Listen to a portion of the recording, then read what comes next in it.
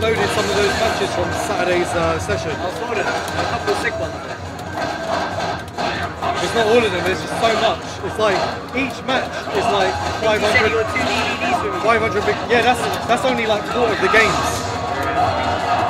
They, they were in, they were in CEX. I gave it to them, innit? Two DVDs, so they can put them on display at Regs. Because they're not allowed to show films anymore.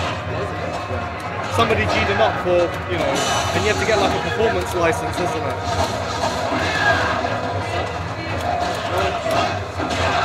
Oh. It's got like the best cross up in the fucking game.